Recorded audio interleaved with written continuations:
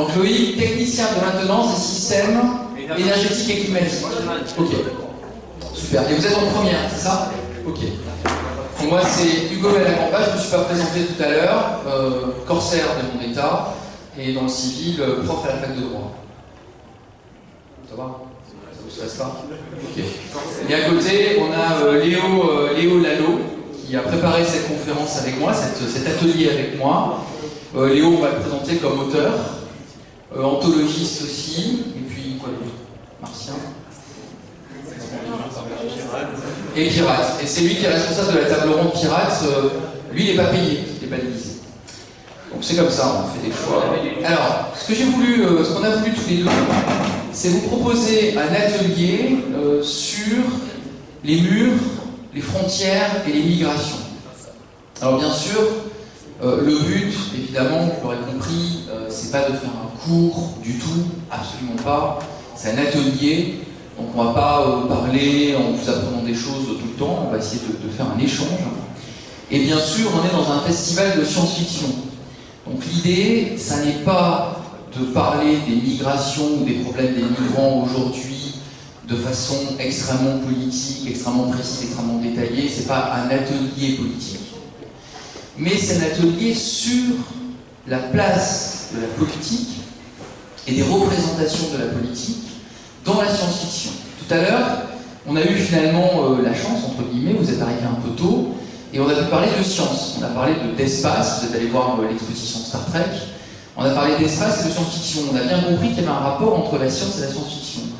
Mais moi, ce que je voudrais surtout, c'est que vous compreniez qu'il y a un rapport entre l'histoire, les sociétés euh, et la science-fiction, et que finalement, à travers l'imaginaire, comme dans Game of Thrones par exemple, à travers l'imaginaire, on peut parler de sujets de société de façon beaucoup plus libre finalement. Aujourd'hui, euh, selon euh, l'endroit où vous vous trouvez, euh, dans votre lycée ou en famille, hein, si vous émettez une opinion politique, si vous émettez un avis en disant oui, nuit debout, c'est très bien, j'y vais tous les soirs, ou alors nuit debout, c'est quoi cette bande de branleurs, etc., vous allez avoir un jugement sur vous votre famille va dire pourquoi tu dis ça, euh, votre père, votre grand-père, mais comment tu peux dire ça Tu sais, moi j'étais euh, j'étais au parti Intel, j'ai eu cet investissement-là, etc. Et donc vous n'avez pas forcément toujours la liberté de vous exprimer sur des questions graves. Avec la science-fiction, avec l'imaginaire, on peut aborder des tas de sujets puisqu'on est dans l'imaginaire. Et que finalement, on peut aborder tout type de questions de société, à travers l'imaginaire de la science-fiction. Et c'est ça que je voudrais euh, vous montrer aujourd'hui avec euh, euh, cet atelier. Alors on l'a appelé mur, frontières et migration. On vous a donné des exemples. J'ai envie de commencer par juste un petit jeu. bon, Divergente, qui est-ce qu'il connaît? Ok. Qui est-ce qu'il a, qu a vu? Qui a vu Divergente 1 ou 2 déjà, ou 3 Ouais. Alors c'est quoi la place du mur dans Divergente bah, il y a un mur là, en divergente par de la mur. Vous pouvez me dire ce que c'est le, rôle du mur? Attendez. Euh, le... Attends, attends, micro. Est où pas? Moi, j'ai la même Voilà, le de l'art, c'est quoi la place du mur? Bah, En fait, euh, c'est leur espoir euh, d'avoir une meilleure vie après, je crois. D'accord. C'est que derrière, ça se passe mieux que là où ils sont. D'accord, donc derrière le mur. Ouais. Donc le, but de leur vie, c'est de franchir le mur. Donc le mur, vous le, vous le définiriez comment? Quel, quel relie là ce mur finalement? C'est un test C'est quoi la raison du mur en fait?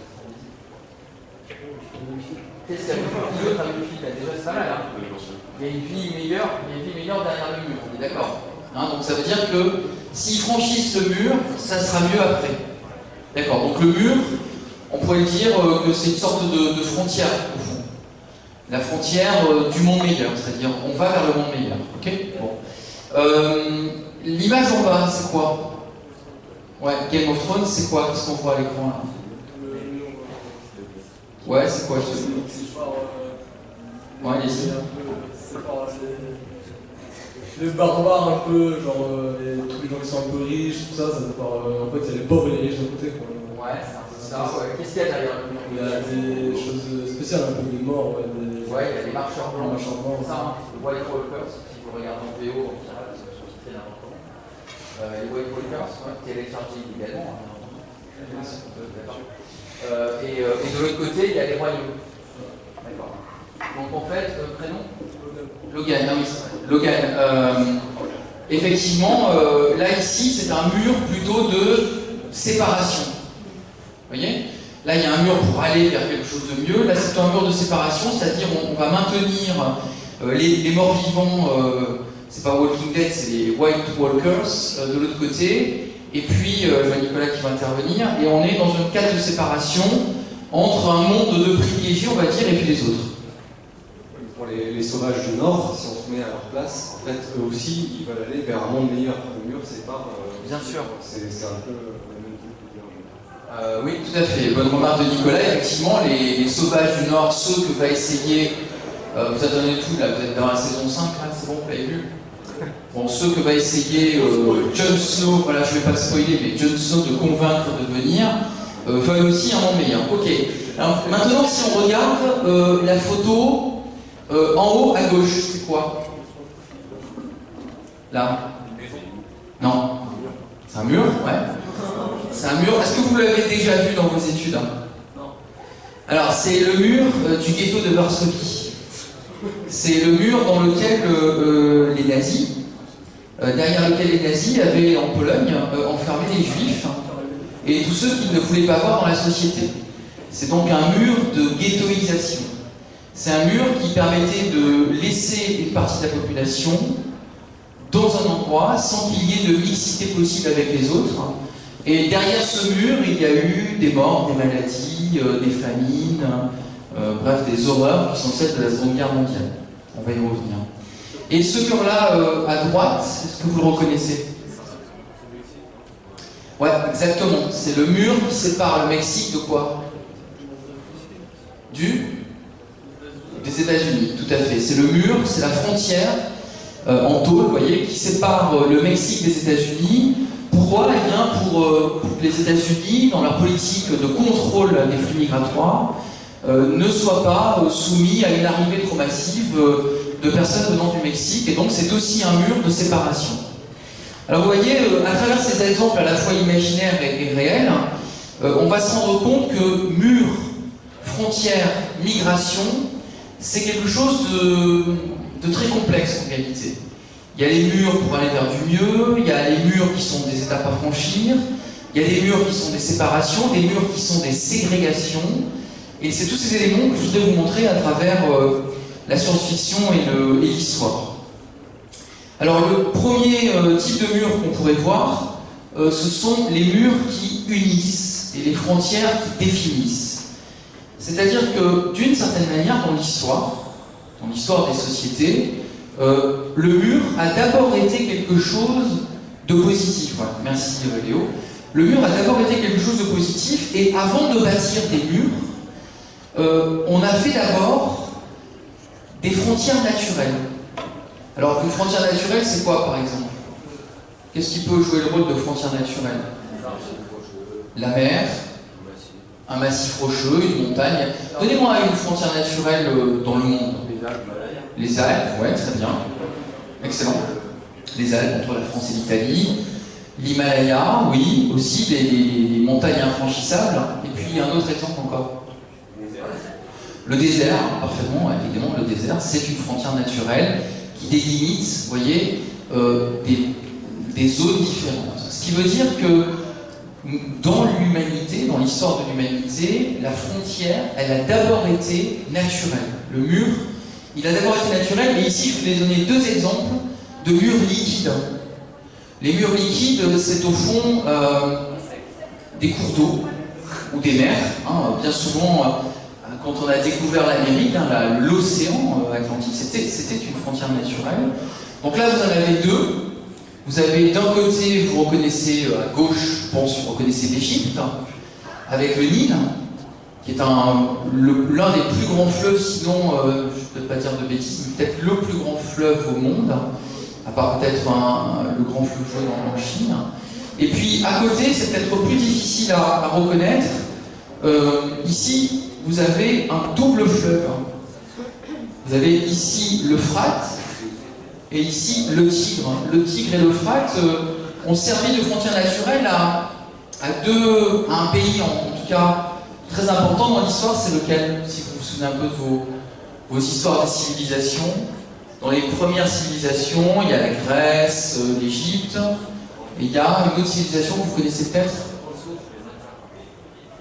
Ouais, souvent, ouais, mais co- comment on l'appelle cette terre entre les fleuves? La terre entre les fleuves. La Méso... Mésopotamie, très bien, avec la célèbre ville de Babylone, Babylone qui est là, ici. Elle est sur les bords de l'Euphrate, vous voyez Alors, première chose intéressante, dans l'histoire de l'humanité, dans l'histoire de l'imaginaire humain, l'homme a d'abord conçu son rapport au territoire, son rapport à l'environnement, hein, son rapport à l'environnement, on peut même parler d'énergie, puisque le fleuve produit aussi euh, des énergies, hein, permet de faire circuler les marchandises et les hommes. Euh, dans sa première étape, l'humanité a projeté son imaginaire sur des frontières naturelles. Et ça, ça se retrouve dans la science-fiction. Euh, si vous prenez par exemple, euh, est-ce que vous avez entendu parler de Dune de Frank Herbert? Non? Voilà, ceux qui ont peut-être lu Dune de Frank Herbert, eh bien, Dune qui a été adapté à l'écran, il y a une série, un vieux film de David Lynch, pas trop réussi, mais enfin, moi, je trouve pas complètement raté non plus. Euh, dans Dune de David Lynch, le désert, sur Arrakis, planète des sables, Dune, c'est une frontière. C'est une frontière naturelle qui n'est maîtrisée que par les Fremen, qui sont une sorte de tribu nomade, qui peuvent traverser le désert alors que les autres, ceux qui vont soi-disant prendre possession de Dune, qui viennent sur la planète, qui sont extérieurs et qui viennent pour prendre le contrôle politique de la planète, n'arrivent pas à traverser le désert, à cause des vers des sables, à cause des distances. Et donc dans la science-fiction, dans l'imaginaire, on a aussi des, frontières naturelles présentes. Voyez, l'humanité a toujours eu besoin de mettre des limites. Un fleuve, une mer, une montagne. Et donc, euh, au premier chef, au premier regard, le mur naturel, c'est plutôt quelque chose de positif. C'est-à-dire, on pose une limite à notre territoire. Ça permet de dire ceux qui sont derrière cette montagne, ou ceux qui sont devant ce- cette mer, devant ce bras de, de fleuve ici, eh bien, appartiennent à la même société. Ici, au fond, Babylone, vous voyez, euh, est née de la réunion de deux cités, Akkad et Sumer, ici. Et ça, ça a fait ce qu'on appelle la Mésopotamie. C'est la plus ancienne des civilisations de l'humanité. C'est pas un, texte de fantasy, c'est pas Game of Thrones, c'est pas Tolkien, le Seigneur des Anneaux. C'est la première grande civilisation humaine avec euh, système juridique, euh, système de cité, apparition des premières cités, etc. Alors au fur et à mesure où on, avance, Léo, euh, tu interviens absolument quand tu veux. Tu n'hésites pas, hein. Euh, deuxième étape, après les frontières naturelles, euh, les frontières de pierre. C'est-à-dire le moment où on commence à faire des cités et où on commence à faire des fortifications. Alors, qu'est-ce que vous pouvez me citer comme exemple de, de grandes villes fortifiées Alors, j'ai pas entendu. hein. Ah, ah c'est ça? C'est ça Vous avez dit? Ah oui, il a tout à fait raison, bien sûr. Ah, est une ville romaine euh, qui a été fortifiée. Pardon, tout à fait raison, je suis tout à fait d'accord. Très bon exemple, c'est un exemple romain, tout à fait, euh, tout à fait pertinent. Vous venez de Ah, peut-être? Non? Mais c'est une très belle ville, hein, par ailleurs. Oui? La muraille de Chine. Très bien, on va, en parler aussi. Très bien. Quoi d'autre hein Je sais pas Carcassonne, ouais, euh, muraille médiévale, euh, s'il est, euh, très très belle. Très bien préservée. Entrevaux, super. Qu'est-ce qu'il y a dit Entrevaux Ouais, super, la citadelle Entrevaux, vous la connaissez, vous êtes déjà allé Non, vous savez où c'est à peu près En montant dans l'arrière-pays d'Issois vers Hanos, en allant à Entrevaux, voilà. Donc ça veut dire que euh, la deuxième étape, c'est euh, de faire des fortifications. La deuxième étape, c'est de faire des fortifications. Là, vous avez deux exemples. Vous avez deux exemples. Euh, la création de ce qu'on appelle le à Rome, c'est-à-dire les fortifications qui délimitent la ville de Rome, sous la période républicaine. hein. Donc on est euh, autour de, à partir de 500, un peu moins 400 avant Jésus-Christ. Et là, vous avez ici les murailles de Constantinople. Constantinople, qu'on appelle aujourd'hui Istanbul, qui s'est appelée aussi Byzance, et qui était la capitale de l'Empire romain d'Orient. Alors, bien évidemment, pas vous raconter l'histoire de Rome et, et de l'Empire romain, mais il y a quelque chose de plus, de différent. Une frontière naturelle, on n'a pas besoin de, finalement, de l'organiser. Une montagne, un fleuve, une mer, c'est naturel. On ne peut pas la traverser, sinon on meurt noyé ou on meurt asphyxié parce que l'altitude est trop élevée pour l'Himalaya, par exemple. Donc il n'y a pas besoin de, la, de créer des institutions autour. Par contre, lorsqu'on fait une ville, et toutes les sociétés humaines ont quasiment fait des villes, même les sociétés de nomades à certains moments ont fait des villes, eh bien on va voir apparaître le droit et la notion de pouvoir politique. Ce que je voudrais bien que vous compreniez, c'est qu'il n'y a pas de séparation entre pouvoir politique et mur. Partout où on trouve un pouvoir politique, partout où on trouve un pouvoir urbain, il y a des murs. Ça veut dire que l'humanité, dans son développement, on va dire, a posé des murs comme symbole de l'autorité politique. Alors par exemple, Léo, tu veux dire quelque chose sur euh, peut-être sur, euh, sur l'Empire romain, je ne sais pas, vas-y. Sur Constantinople, on pense à Game of Thrones, mais c'est un petit peu Game of Thrones, les murs de Théodore, construits à la fin de l'Empire romain. Ils ont arrêté, je ne sais pas, peut-être une quinzaine, une vingtaine de grosses invasions sur Constantinople jusqu'à 1453, quand ça devient Istanbul, enfin ça deviendra Istanbul au XXe siècle, mais quand les Turcs prennent le pouvoir, quand on s'empare de la ville. Avant ça, ils ont déjà essayé quatre fois. Il y a aussi eu les Arabes, les Bulgares, les Avars, il y a eu beaucoup de peuples qui ont essayé. Donc c'est assez représentatif aussi quand on se fait cette idée qu'on peut voir dans Game of Thrones des gros murs comme ça qui peuvent arrêter différentes invasions. Constantinople, à ce niveau-là, ça a marqué l'imaginaire au fil des années parce que c'était l'Empire romain, ce qui, la moitié survivante de l'Empire romain, qui s'est encore maintenu pendant un millénaire.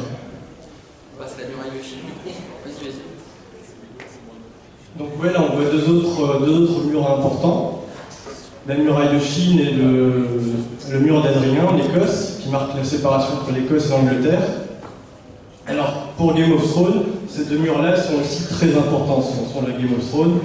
Surtout le, le mur d'Adrien, la forme de la carte, même c'est un petit peu la même que Westeros, l'Angleterre. Donc il y a cette séparation avec euh, les Écossais les Pictes dans l'Antiquité qui étaient assez barbares et féroces, les Romains qui n'avaient pas trop envie de les voir venir. Et donc c'est resté comme ça. La muraille de Chine, c'est assez comparable en fait aux limes de l'Empire romain. C'est-à-dire que c'est pas, faut pas s'imaginer une muraille euh, sur des dizaines de milliers de kilomètres. Il y a il y a effectivement plusieurs milliers de kilomètres de murailles bout à bout, mais c'est assez discontinu. Il y a des endroits où ça va être très dense, il y a des endroits où ça va être juste un bastion, une forteresse, et puis des modes de terre ensuite, comme ça, où le mur sera carrément effacé. Les murailles de Chine, ce qui est intéressant aussi, c'est que c'est le mur peut-être qui a été construit le plus longtemps, puisqu'il a été commencé euh, vers le 3e, 4e siècle avant Jésus-Christ, si je ne m'abuse, le 2e siècle peut-être. Et ensuite, ça a été continué jusqu'au XVIIe siècle. Il y a eu des améliorations, selon les endroits en fait. Parce qu'il y a des périodes où c'était plutôt vers la Mongolie, où c'était dangereux. Ensuite, au XVIIe siècle, c'était plutôt les, les Mandchous. Donc là, c'est plutôt vers la frontière avec la mer, avec la Corée. Et donc le mur comme ça a évolué. Il y a des endroits où vous voyez, il y a des, des différentes sections qui englobent des petits bouts de territoire à l'intérieur. Il ne faut pas s'imaginer que c'est euh, à une époque que, ça s'est fait comme ça. C'est sur une longue période, il y a le mur comme ça qui a été, aménagé. Il y a aussi beaucoup de légendes intéressantes par rapport à la muraille de Chine. Par exemple, il y a une euh, légende sur une jeune fille comme ça qui était la, femme d'un ouvrier qui est mort pendant la construction de la muraille. Donc elle, elle était très triste. Donc elle est arrivée à l'endroit où son mari était mort et elle a pleuré. Et la muraille s'est effondrée et elle est morte. Une chouette histoire. hein. Les Chinois ont souvent des bonnes histoires assez, euh, assez romantiques à leur façon. De ces murs-là, je suis allé à la muraille de Chine pour dire un petit mot à Badali, près de Pékin. C'est vrai que c'est assez impressionnant quand on la voit. Parce que oui, on a l'impression que ça continue comme ça non fini. En chinois, ça s'appelle Changcheng, mais il l'appelle aussi souvent le grand dragon. Parce que quand on regarde les collines, ça donne un petit peu cette forme d'un dragon comme ça qui serait, euh, qui serait lové dans les collines. Bon, évidemment, il y a beaucoup de gens qui ont complètement revu. Mais bon, si vous aimez Game of Thrones, vous pouvez vous intéresser à l'histoire de la muraille de Chine, euh, au mur d'Adrien, vous ne serez pas déçus. Ok, merci. Euh, donc vous voyez, euh, l'imaginaire s'empare des murs. hein. Dès lors que les murs deviennent des constructions humaines, on a déjà l'imaginaire, c'est pas des montagnes, des océans, etc. Mais l'imaginaire euh, chinois, notamment, a créé des légendes. Vous voyez cette muraille qui sera en fait un dragon euh, euh, immobilisé dans les collines et dans les montagnes de Chine. C'est-à-dire que les murs deviennent aussi des murs culturels. C'est ça que je voudrais que vous compreniez bien, parce que la science-fiction permet de décrypter ça. Vous avez les murs naturels, c'est une montagne, un cours d'eau. Ensuite, vous avez des murs de pierre, qui sont des édifices. Un édifice, euh, ça peut être une fortification, ça peut être pour des raisons de sécurité, c'est pas stricto sensu culturel, c'est d'abord pour des raisons de sécurité. Puis, les murs deviennent culturels, ça veut dire que les murs que l'humanité élève, ils sont aussi là, dans la tête des gens. Il y a des murs qui sont invisibles et qui sont dans vos têtes aujourd'hui. Vous n'avez même pas conscience des choses que vous n'arrivez pas à penser parce que vous êtes derrière un mur qui est votre culture. Et que les échanges culturels, pour être dans une situation d'échange culturel, il faut aller voir de l'autre côté du mur de la culture dont on a hérité aussi. Il faut être à l'écoute de l'autre. Et ça, dans les civilisations euh, humaines, l'idée c'est plutôt fait de séparer plutôt que de réunir ou de partager. Et par exemple ici, hein, vous voyez très clairement les Romains, le limes romain, la frontière romaine, c'était clairement ce qui est en dessous du mur d'Adrien, c'est Rome, c'est la civilisation, c'est le droit, c'est l'autorité politique, c'est les institutions, c'est le Sénat de Rome, c'est les légions romaines qui défendent les Romains, et ce qui est dehors, ce sont les barbares. Alors, vous avez un lien, et ça vous voyez dans tous les, dans tous les grands de légende, vous avez un lien direct entre la notion de barbare et la notion de mur. Le barbare, c'est celui qui est de l'autre côté du mur. Le barbare, qu'est-ce que c'est Au fond, euh, est-ce que le barbare, c'est l'image qu'on donne souvent, euh, vous connaissez tous Conan le barbare, hein, le cimérien qui euh, n'a pas été civilisé, qui peut décapiter quelqu'un d'un seul coup de hache, etc. Mais bon, Conan le barbare, c'est une vision un peu, un peu restrictive, un peu réductrice. Le barbare pour les Romains, vous savez, les Romains, c'était pas du mépris. Hein. C'était pas du mépris. Les Romains ne considéraient pas les barbares comme euh, des abrutis chevelus, avec des haches, en train de détruire tout le monde, de violer tout le monde. Le barbare, c'était celui qui ne parlait pas romain. J'arrive. C'était celui. Ah, c'est ça, pardon. Désolé. Eh ben, rappelez-moi votre prénom Lionel. Hein. Voilà, Lionel, super. Le barbare, merci Lionel. C'est celui qui ne parlait pas romain. C'est celui qui ne comprenait pas le latin, qui ne comprenait pas le grec, parce que c'est les Grecs hein, qui ont inventé la notion de barbare avec les cités grecques, hein, Athènes et tout ça, pour voir ce qu'il y avait derrière. Il y avait ceux qui étaient rejetés hors de la cité. Et donc, ce que je voudrais vous montrer, ce qu'on voudrait vous montrer avec Léo, c'est que la science-fiction, lorsqu'elle vous met en scène des mondes de fantasy, euh, des mondes de fantasy, elle met en scène cette notion de mur culturel. D'accord? Donc ici, ce que vous avez, c'est pas tellement euh, des murs de cité, vous voyez, il y a, il y a Pékin, l'a dit Léo, ce sont des murs qui excluent. Et c'est pour ça que maintenant je voudrais qu'on parle de, pas des murs qui protègent, des murs qui unissent, mais je voudrais qu'on parle maintenant des murs qui excluent et des frontières qui séparent finalement. Parce que c'est ce à quoi vous êtes le plus accoutumés. Alors ici on a euh, deux images euh, qui sont prises à plusieurs années de distance et dans des zones du monde différentes. Euh, vous avez euh, à gauche un mur qui vous avez connu, mais euh, vous ne l'avez pas connu sinon comme une part d'histoire pour la plupart d'entre vous. Vous êtes né en quelle année vous? 98 99 ouais. Il y en a qui sont en 2000 Non, pas encore. 90, 99. Donc ça, si vous voyez à gauche, ce que, vous, voyez à gauche, c'est non mais ça fait rire parce que moi je suis né tellement euh, avant vous que j'ai l'impression d'être un vieux con. C'est le mur de Berlin. Le mur de Berlin qui a représenté ici Euh, vous le voyez là, ça c'était la ville de Berlin. Là vous avez le tracé du mur et ici la construction du mur.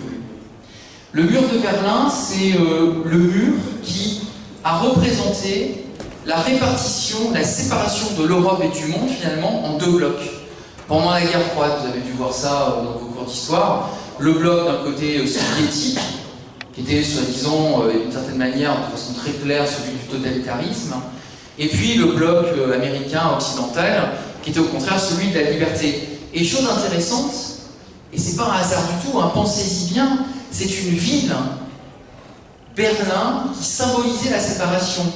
On n'a pas fait un mur à travers toute l'Europe, on a fait un mur dans une ville. Alors il y a eu le rideau de fer, voilà, le rideau de fer qui était euh, une sorte de mur intellectuel, le mur idéologique. Le mur idéologique. Mais ce qui est révélateur, c'est que le mur était dans une ville. Ce qui veut dire que la symbolique de la ville, elle est au cœur de la, de la culture telle qu'on l'aperçoit. Une culture de sédentaire, une culture fondée sur l'autorité centrale, etc. Voyez? Et puis à côté, vous avez le mur qui sépare Jérusalem des territoires palestiniens. Ça, ce mur, il est beaucoup plus récent.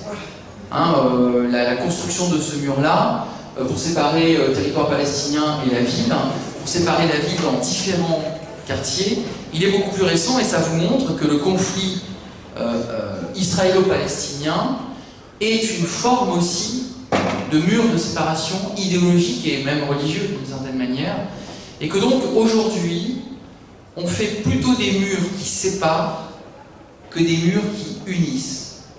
C'est comme si, euh, après avoir hérité de toute cette histoire de civilisation depuis l'Antiquité, on s'était focalisé, nous, aujourd'hui, sur les séparations plutôt que l'unité, en fait. Et là, ces deux murs que vous avez là, le mur de Berlin et le mur de Jérusalem, eh bien, ce sont clairement des murs d'exclusion. J'accélère un peu parce qu'après, on va répondre à vos questions. Il y a des murs qui sont des murs purement artificiels. Je l'ai mis euh, entre, entre guillemets. Artificiel, ça veut dire qu'ils n'ont même pas de raison d'être là. Puisqu'on n'est même pas dans une ville. On est dans un no man's land, un territoire où il n'y a rien. Et là, on fait les murs. Alors vous avez en pleine guerre, bien sûr, le mur de l'Atlantique. Hein, D'accord? Vous avez là, à gauche, ici, le mur que les Allemands avaient fait bâtir pour euh, empêcher un débarquement. Et puis vous avez ici euh, le mur, le fameux mur entre le Mexique et les États-Unis, dont je vous ai déjà parlé avec Léo tout à l'heure, qui lui est vraiment construit de façon linéaire sur tout, le long de la frontière. Et c'est un mur militarisé. Donc ce que je voudrais bien que vous compreniez, c'est que non seulement maintenant les murs excluent, mais en plus les murs tuent. Délibérément. C'est-à-dire que quelqu'un qui cherche à franchir le mur dont vous parliez tout à l'heure, et aujourd'hui dans notre société, il faut se poser la question, aujourd'hui les murs nous séparent au lieu de nous unir. Et peut-être qu'il faudrait se demander pourquoi et comment on en est arrivé euh, à ce changement-là. Je vais laisser la parole à Léo, puisque, sauf erreur, la prochaine diapo, c'est euh, pas encore, non, c'est pas encore Lampedusa. Je vous en montre une autre rapidement, avant d'arriver à, Lampedusa. Euh, c'est, euh, ça, c'est les villes privées. Je sais pas si vous avez entendu parler de ça. C'est les gated communities. Les gated communities, c'est des, au sens littéral, c'est des communautés euh, enclos, quoi. Avec des enclos, c'est comme des sectes, ouais. C'est-à-dire que vous êtes, euh, vous avez peut-être euh, des copains qui habitent dans les beaux quartiers de Signé ou ailleurs, je ne sais pas. Il y a des fois des propriétés où vous faites euh, bip bip, vous rentrez, le portail s'ouvre, il y a un gardien, et ça se referme.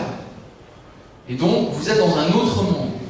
Vous n'êtes pas dans le monde normal, dans la vie normale, vous êtes dans une copropriété encerclée de grilles partout, avec des caméras vidéo.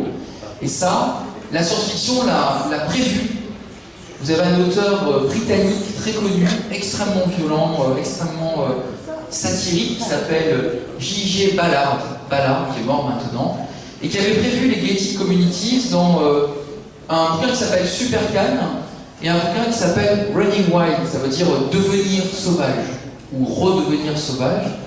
Et Ballard, un auteur britannique, les Britanniques sont parmi les auteurs les plus engagés politiquement et socialement de la science-fiction, avait prévu ça. Il avait dit on va vers un monde où il y aura les très très riches dans des cités artificielles, un peu comme Elysium, hein, dans des cités artificielles surprotégées avec des grilles, des caméras vidéo, et dehors les autres. Un peu ce qu'on voit dans Trépalium hein, finalement, sauf que dans Trépalium c'est vu de façon dystopique, euh, évidemment, ça donne pas envie évidemment, mais Euh, Il y a des gens qui veulent vivre là-dedans. Il y a des gens qui préfèrent vivre enfermés avec des écrans géants, avec des grilles et des caméras vidéo. Aux États-Unis, au Mexique, ça se développe beaucoup. Oui, ça se développe beaucoup. Alors du coup, euh, on va passer aux, aux migrations euh, qui nous interrogent et donc à Lampedusa et je cède donc la parole à Théo. Donc, est-ce que vous pouvez situer Lampedusa déjà? Bon, là, c'est facile, vous avez une carte. Mais est-ce que ça vous dit quelque chose, le nom? Non? On en parle souvent en rapport avec les migrants récemment, parce que c'est une île en fait. Donc vous voyez la position, alors l'île est plus petite que ça en réalité, hein, c'est une toute petite île, elle fait 20 km. Et donc vous voyez, c'est une île italienne qui est la plus proche des côtes africaines. Et alors récemment, avec la crise des migrants, c'est plutôt dans les îles grecques que ça se passe.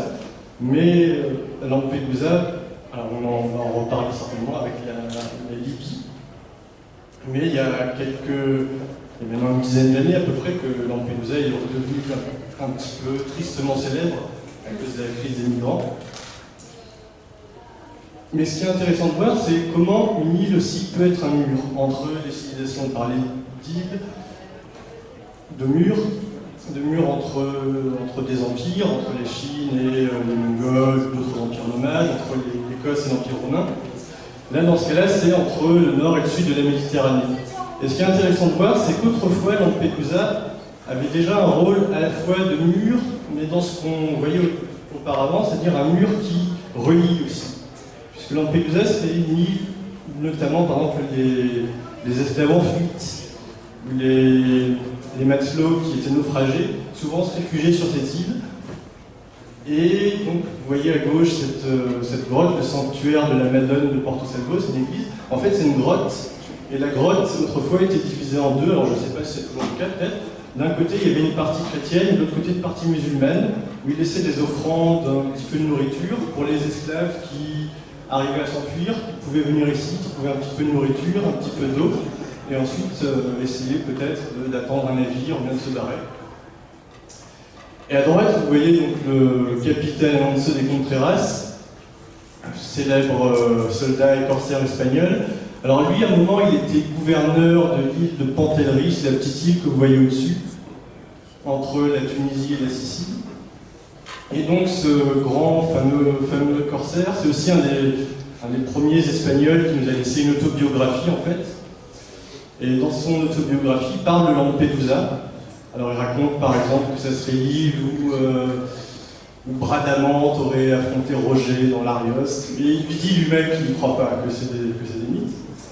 Et donc il nous, raconte par exemple comme ça des différents combats contre des. alors lui c'est contre des, pirates qui vont venir de Tunisie ou d'Algérie, souvent qui se bat parce que c'est un espagnol et qu'à l'époque c'est le conflit, la guerre de course en Méditerranée, c'est omniprésent. Mais il y a, aussi, donc il nous parle aussi de cette grotte, et c'est assez intéressant de voir au fond comme ce lieu, maintenant on en parle beaucoup avec euh, la crise des migrants, mais jadis, maintenant c'est à peu près oublié comme histoire, mais c'était toujours un lieu très important dans cette, euh, dans cette histoire des migrations en Méditerranée, et comment le lieu s'est transformé au fil du temps avec euh, les modifications historiques, avec aussi des modifications de, de nos propres perceptions.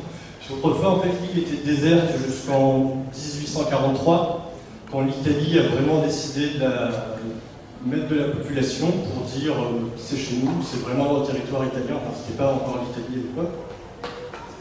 Mais euh, donc voilà, il y a plein d'aspects qu'on trouve sur cette petite île, à la fois la- l'aspect politique, l'aspect culturel, un peu civilisationnel aussi, l'opposition entre le nord et le sud, mais aussi en même temps, au sein de cette opposition, des passerelles et des façons un petit peu de se rencontrer. Donc c'est intéressant, ça m'a semblé intéressant de présenter cette île qui est pas très connue pour cet aspect-là. Excusez-moi, Oui. il y a justement euh, Allez-y si vous avez des une pièce de théâtre qui était représentée euh, au Théâtre National de Nice. Euh, cette, cette année, oui, euh, non, l'année dernière, à la fin de l'année dernière, donc Lampedusa Beach, c'est à partir du roman de Lima Rosa, qui parle justement, bah, qui raconte l'histoire euh, d'un bateau de réfugiés qui coule euh, à la porte de Lampedusa. Donc un texte euh, récent voilà. C'est vraiment, oui, oui. Donc euh, le, le- le roman s'appelle Lampedusa Beach. Très bien, donc euh, vous voyez euh, les murs encore, hein, de Lampedusa. euh, il n'y a pas que Lampedusa maintenant avec les îles grecques, euh, de nouveau des, des murs qui s'érigent partout. En gros, euh, vous voyez bien que la représentation que l'on a est parfois occulte, parfois fait oublier parfois euh, l'histoire euh, que nous a rappelé ici Léo. Alors, il nous reste encore trois diapositives et après on, on- on répond à vos questions. Mais peut-être qu'on peut déjà répondre à des questions, mais on arrive vers la fin de notre présentation.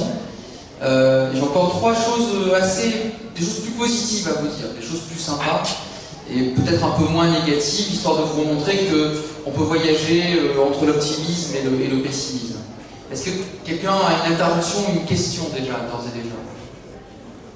Non? Pas de remarques particulières?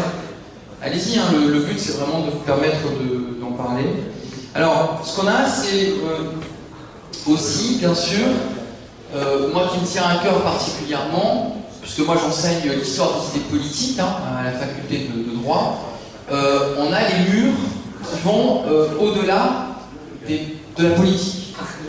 Alors, le mur qui va au-delà de la politique, c'est-à-dire qu'aujourd'hui, la politique, c'est quoi? Euh, C'est François Hollande, Emmanuel Macron, Nicolas Sarkozy, bref, et je ne cite pas les autres, c'est pas très excitant, en fait. Le Pen et autres, c'est pas très excitant.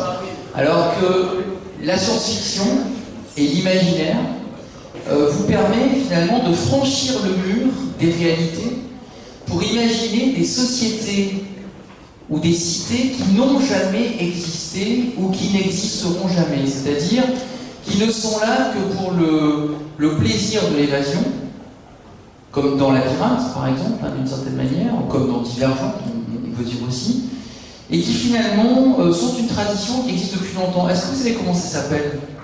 Ces cités qui probablement seraient meilleures que la nôtre, qui ont été décrites par des auteurs, mais qui n'ont aucune réalité, qui n'existent pas, qui n'existeront jamais. Comment ça s'appelle? L'utopie. Merci. Très bien. Le prénom? Paul. Très bien, Paul. L'utopie. L'utopie, ça vient d'où? Vous savez le mot? Alors, c'est facile, ça vient du grec. Topos. Euh, vous trouvez le mot topos, par exemple, dans topographie, toponymie. Ça veut dire le lieu. Topos, c'est le lieu. Et où, le U, ça veut dire qu'il n'existe pas. C'est le U d'absence. Donc, ou topos, c'est le lieu, topos, qui n'existe pas, ou utopie. Alors, les utopies, c'est quelque chose qui, au fond, euh, est une sorte de moyen intellectuel de dépasser la réalité. Et la science-fiction euh, se nourrit des utopies pour aller au-delà des murs politiques que nous avons. C'est-à-dire qu'aujourd'hui, euh, vous n'aimez pas Le Pen, vous n'aimez pas Emmanuel Macron, vous n'aimez pas François Hollande, vous n'aimez pas euh, tous, ces, tous- tous ces hommes et femmes politiques qui nous gouvernent ou qui veulent essayer de le faire, eh bien vous pouvez toujours imaginer une utopie, c'est-à-dire une société ou une cité où la démocratie fonctionnerait mieux, où euh, les institutions seraient différentes, où les citoyens eux-mêmes seraient différents. Alors vous avez une des utopies euh, de la Renaissance les plus connues, qui est Tommaso Campanella. Elle s'appelait cette utopie la Cité du Soleil, après Thomas More évidemment. La Cité du Soleil, c'était une utopie sur le savoir. L'idée était que celui qui gouvernait l'utopie de Tommaso Campanella au XVIIe siècle, c'est celui qui avait la connaissance. Donc en gros, euh, c'est comme si aujourd'hui on exigeait euh, de nos hommes politiques et de nos femmes politiques qu'ils aient la maîtrise de la philosophie et du savoir global. Seul celui qui maîtrise la connaissance peut gouverner. C'était une belle idée, euh, voilà. Après vous avez Globalia, une utopie récente euh, écrite par Jean-Christophe Ruffin, qui est un auteur, il doit avoir une cinquantaine, d'années, qui est, est d'aujourd'hui. C'est une utopie qui ressemble un peu à Under the Dome de Stephen King. Par contre, c'est beaucoup moins jouissif à lire. Désolé, mais euh, c'est chiant hein, par rapport à. Jean-Christophe m'en veut pas, on se connaît pas, mais c'est chiant par rapport à Dome. Mais par contre, ça pose bien la question de l'utopie, à savoir qu'est-ce que c'est. Alors, il a fait un- une petite pirouette intéressante. Là, on le voit pas sur cette image, c'est dommage. Mais euh, c'est comme dans Dome, hein, son mur est transparent. On voit au travers, c'est-à-dire qu'on on voit ce qu'on n'a pas et qu'on pourra jamais avoir parce que c'est de l'autre côté du mur, mais on le voit. Donc ça joue un peu différemment. Et puis au cinéma, euh, vous avez un film très connu euh, des années 70 qui va être euh, repris, je pense, il va y avoir un remake au cinéma, qui s'appelle Logan's Run, la course de Logan. Il y a un Logan ici. Oui. Voilà, donc c'est c'est ton film, Logan, hein. c'est ton histoire. Euh, c'est un Logan du 23e siècle. Le titre en français, c'était L'âge de cristal, vous en avez peut-être entendu parler. Alors ça, c'est une utopie qui va vous amuser, euh, peut-être pas le film, euh, vous savez, le film, ils ont des cheveux super longs, les nanas sont super bien collées, donc ça ne pas, enfin, ne le regardez pas. Elles sont en mini-jupe, et non, ne le regardez pas, franchement, ça va vous faire du mal. Ne le regardez pas, c'est pas, c'est pas, c'est pas bon pour vous. Et l'idée, c'est quoi? L'idée, c'est que c'est une société où le mur, c'est l'âge. C'est-à-dire, si vous dépassez 25 ans, je crois que c'est 25 ans, dans le film, c'est peut-être 23 ans, si vous dépassez 25 ans, vous êtes exécuté, euthanasié. Et donc, cette société fonctionne avec un mur qui est un mur de l'âge, en fait. C'est-à-dire que tout le monde est accepté dans la société, mais dès qu'on dépasse 25 ans, on est exécuté. Alors bien évidemment, ceux qui ne veulent pas être exécutés, comme Logan, ils ont tous un cristal dans la main. Le cristal est blanc. Quand il vire au rouge, c'est l'exécution. Ils appellent ça l'élévation, il y a toute une cérémonie, mais en réalité, ils sont, exécutés. Et ceux qui ne veulent pas être exécutés, comme Logan, qui est un survivant, eh bien fuient. Et c'est l'histoire de la, course de Logan, de la fuite de Logan, pour éviter d'être exécuté. Et il va découvrir le monde au-delà du mur de l'âge, qui est un monde retourné à l'état sauvage, avec euh, plein d'autres choses. Voilà. Donc ça, c'est un film euh, des années 70 qui vous montre que, vous voyez, le mur, c'est pas simplement un mur euh, qui peut être euh, racial ou religieux, ça peut être aussi le mur de l'âge. On peut être aussi dans une société qui dit les jeunes doivent avoir le pouvoir, et pourquoi pas, ce serait très bien, et les vieux à la poubelle. On s'en débarrasse. Alors qu'aujourd'hui, on est plutôt, vous en conviendrez quand même, encore dans une forme de gérontocratie, c'est-à-dire que ceux qui vous gouvernent, ceux qui prennent les décisions pour votre vie quotidienne, n'ont pas votre âge. Aucun d'entre eux. Même Emmanuel Macron, avec son mouvement En Marche, il n'a pas votre âge non plus. Par rapport à vous, c'est un vieillard. Donc vous pouvez aussi vous poser la question des représentations de la politique. Et cela euh, en toute liberté, puisqu'on est dans la science-fiction. Donc il n'y a pas. Vous ne risquez pas euh, d'être traîné en diffamation. En fait, ce que fait la science-fiction pour moi, c'est pour ça que je voulais vous présenter ça aujourd'hui, c'est qu'elle vous permet de franchir les murs qu'il y a dans vos têtes. Quand vous lisez un roman de science-fiction, quand vous regardez une série de science-fiction, au lieu de vous dire ça j'ai pas le droit de le dire, ça j'ai pas le droit de le penser parce que de toute façon c'est pas réalisable, on s'en fout puisque c'est de l'imaginaire. Et donc vous pouvez vous amuser à aller voir votre utopie, à aller réfléchir à votre société meilleure, même si vous savez qu'elle n'arrivera pas. Alors euh, c'est par exemple ce qu'ont fait les scientifiques. Euh, les scientifiques franchissent des murs tous les jours en faisant de la recherche, ils franchissent les murs de la connaissance les murs du savoir scientifique. Je vous euh, deux exemples ici. Ça, vous savez ce que c'est? Qui est-ce qui l'a déjà vu? Alors, c'est la première lunette astronomique de l'histoire de l'humanité. Elle date de 1609 et elle a été faite par Galilée. Et cette lunette astronomique, de Galilée, j'arrive, il l'a utilisée pour faire quoi Petite carte de question, on voit combien de kilomètres ça Alors bah, justement, alors, c'est pas en termes de, kilomètres. Dans une lunette, ce qui compte, c'est pas la distance, c'est la lumière. C'est la, quantité de lumière que la lunette peut percevoir en réalité. Et cette lunette, elle a permis à Galilée de découvrir les satellites de Jupiter. Jusqu'à Galilée, jusqu'au XVIIe siècle, on pensait que Jupiter c'était juste une planète.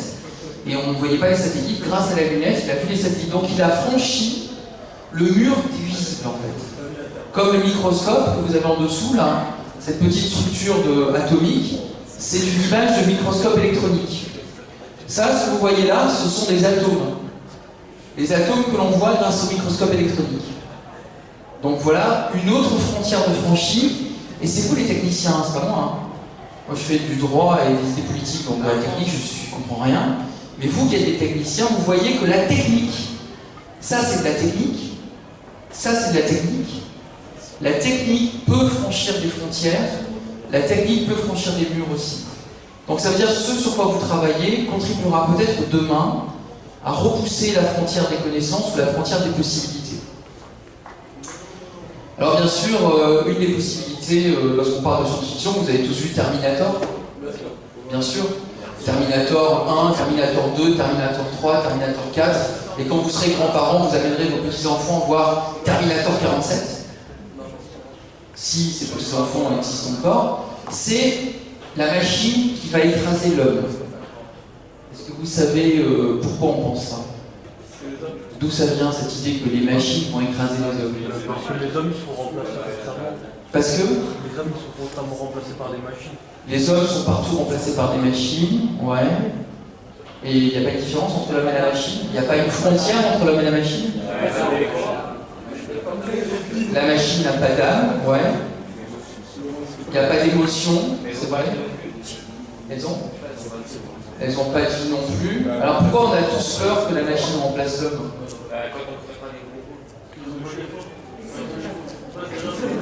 Ouais, les machines ne font pas d'erreur humaine, c'est vrai. C'est vrai. Les robots commettent pas d'erreur. Alors d'où ça vient cette peur que la machine remplace l'homme? Les films, ouais, Terminator et d'autres. Et puis là, vous avez aussi la science. Vous avez ici un calcul qui a été fait par les scientifiques sur l'accélération des puissances de calcul des ordinateurs.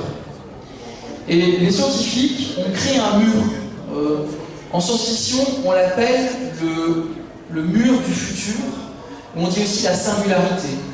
La singularité, c'est, alors je vous rassure, hein, pour l'instant c'est pas vérifié, donc vous pouvez respirer encore hein, tranquillement, et, et pas vous méfier de vos téléphones portables encore pendant quelques années.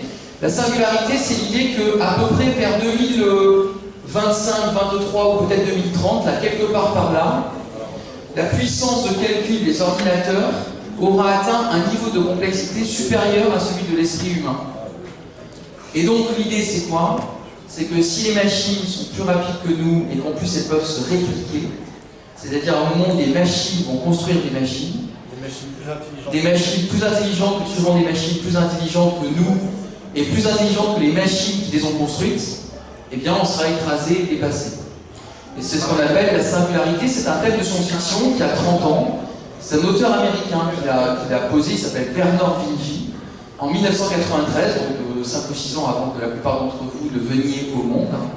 Et il a imaginé qu'un jour, les intelligences artificielles seront tellement rapides et tellement complexes qu'elles supplanteront l'humanité. Et ça, c'est ce qu'on appelle en science-fiction, nous on appelle ça le mur du futur. Le mur, c'est-à-dire le mur dans lequel c'est l'humanité tout entière qui sera de l'autre côté du mur, du mauvais côté évidemment. Alors bien sûr, il y a quand même une différence. Tout ça, ça ne s'est pas réalisé. hein. Pour l'instant, euh, vos ordinateurs, euh, euh, vos téléphones portables, euh, vos voitures euh, ne sont pas en train de comploter contre vous. hein. Ne soyez pas paranoïaques. Mais il y a quand même une question qui se pose. C'est la question de faut-il peut-être redécouvrir l'homme? C'est-à-dire si les machines sont plus intelligentes que nous, si elles sont plus rapides que nous, si elles sont capables de se reproduire sans nous, qu'est-ce que nous avons que les machines n'ont pas? Eh bien peut-être la conscience, l'âme, les émotions. Et ce que nous propose de faire la science-fiction, c'est de redécouvrir ce qui véritablement définit l'être humain. Et ça, c'est une des manières qu'on peut aussi euh, avoir de penser l'imaginaire et de penser avec l'imaginaire. Est-ce que les machines elles mènent- elles mènent plus de bonheur, Alors c'est une, une des questions de la science-fiction. C'est une des questions. Alors bonheur matériel, incontestablement, oui. Oui, mais. La plupart du temps, quand vous avez... euh, qui a un téléphone portable? Ok. Qui a un téléphone portable depuis plus de deux ans? Ok. Qui a un téléphone portable qui est un smartphone? Ok. Qui éteint son smartphone le soir Éteint, complètement éteint. Bon, bah, allez, il n'y en a que trois. Ça veut dire qu'aujourd'hui, vous êtes, votre smart- smartphone, c'est une extension de vous. Vous le gardez près de vous, euh, le soir, vous ne l'éteignez pas, vous avez des, des messages que vous recevez, etc. Donc, le bonheur matériel augmente, mais le bonheur spirituel ou le bonheur identitaire, pas nécessairement. Combien de temps vous passez à consulter vos messages par jour? Ça dépend. Quelle est euh, l'heure à laquelle vous consultez pour la dernière fois vos mails? À à quelle heure? Ouais. Ou SMS. Twitter ou Facebook Minuit, voilà. Juste avant de faire ça. Voilà, donc ça veut dire que vous vivez avec. Voilà. Alors cette question, euh, Ça, c'est ta position, bien sûr, bien sûr. Non, mais eh, moi en tant, en tant qu'enseignant, en, tant qu'enseignant, il faut faire des cours. Au moins, ils liront les leçons à minuit. Bon.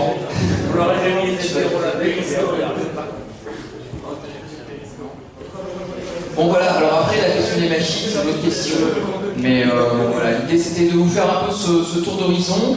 Et puis, pour finir, on a fini, hein, c'était la dernière diapo, de vous montrer que voilà, euh, les romans de science-fiction, ou les films hein, de science-fiction, et bah, je vous remercie parce que vous en avez cité beaucoup, hein, euh, Labyrinthe, Divergente et d'autres encore, euh, les séries télé, Dôme, etc. Donc vous avez été super participatifs, hein, merci, merci beaucoup.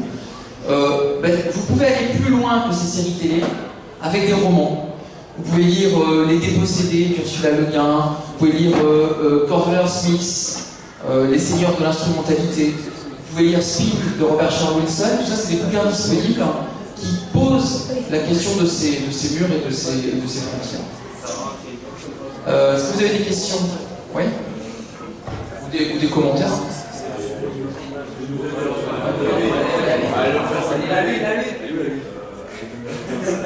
Ah oui, Game of Thrones Oui, c'était Game of Thrones. ouais. Voilà, est-ce que vous avez des questions, des commentaires euh, Ou pas, je sais pas. Nicolas Oui, c'est vrai, c'est vrai. Oui, Nicolas. Parce qu'on n'a pas parlé des murs virtuels, des jeux, de toute cette vie que nous avons sur les réseaux, finalement, euh, qui sont aussi, euh, d'une certaine manière, des murs. Mais ça, vous ne pouvez pas faire le lien. Parce que nous avons travaillé euh, justement aussi sur, sur la question est-ce que le monde virtuel euh, est en danger pour les relations euh, Humaine sociales Oui. Est-ce que le monde virtuel est un danger pour les relations humaines? On peut le reformuler autrement. Est-ce que les relations humaines ne sont pas un danger pour le monde virtuel?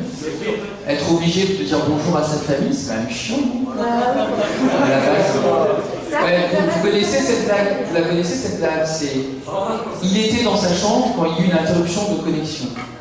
Il descendit à la cuisine, il rencontra sa famille. En fait, ils étaient plutôt sympathiques. Ouais. Voilà. Donc ça, qu'est-ce que vous en pensez Je sais pas. Est-ce que vous êtes plus dans la virtualité ou plus dans le, dans le monde réel malgré tout? Est-ce que si demain je coupe votre réseau, euh, vous vous sentez euh, amputé? Alors qui, qui pourrait survivre une journée sans réseau Ouais, ça va. Ça va, rassurant.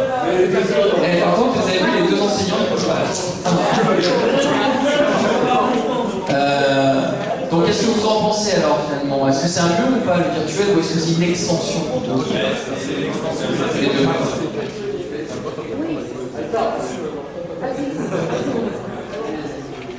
Ça dépend des personnes. Il y en a pour qui c'est ça fait c'est quelque chose de pas bien. C'est pour ça que tu tiens ton téléphone en permanence. On a le droit. Euh, D'autres commentaires Non C'est bon Léo, tu veux ajouter quelque chose Non Nicolas. La question entre euh, le virtuel et le réel et le virtuel, euh, c'est intéressant de se poser. euh, Peut-être un jour, nous serons complètement dépendants de nos portables.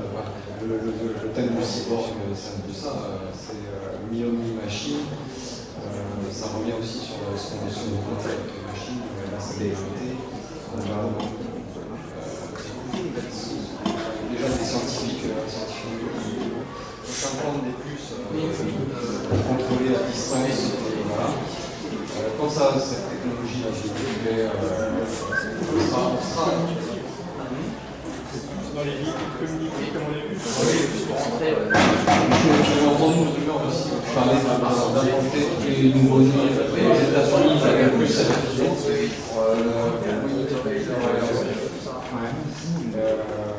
Donc on va devenir de plus en plus. Allez, la technologie, c'est c'est la science-fiction, euh, l'avenir de notre c'est des questions de fond, euh, sur politique, euh, politique, euh, Oui, euh, juste pour euh, commenter ce que dit euh, Nicolas, effectivement, on va devenir dépendant de la technologie. Mais donc ça veut dire qu'il y a un autre mur, moi je vois, qui se met en place, c'est le mur de l'argent. C'est-à-dire que qui pourra se payer, là pour l'instant, il s'agit de vous payer un smartphone et tout ça, mais quand ce sera les technologies qui vous permettront de vivre plus longtemps, il y a un film que peut-être vous avez vu qui s'appelle Repo Man. Ça vous dit quelque chose? C'est un monde euh, futuriste, évidemment totalement imaginaire, où les organes euh, se remplacent par des prothèses, sauf que les prothèses sont en location. Ça veut dire que, par exemple, vous avez une prothèse de poumon, mais si vous ne payez pas la location, les mecs qui viennent de nuit, ils vous ouvrent en deux, vous enlèvent le poumon parce que vous n'avez pas payé.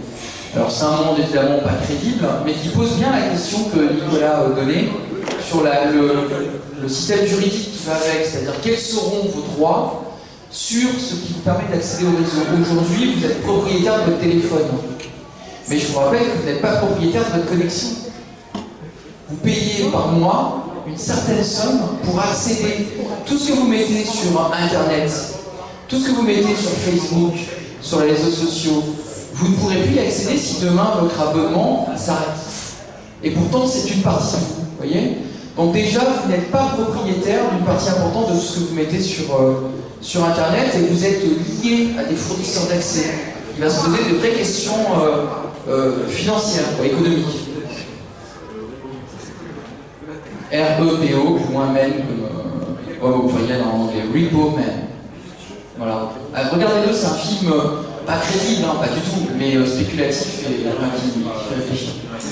Récemment, il y a The Island aussi. The Island aussi, oui, c'est sur l'utopie, oui, oui. The Island avec les... Tout à fait. Bon, vous avez votre dose là Euh, Ouais en tout cas, merci, vous avez bien, bien participé. Avec Léo, on vous remercie. Et puis, bah, au plaisir de vous revoir, euh, peut-être l'année prochaine. Voilà. Bonne continuation, au revoir.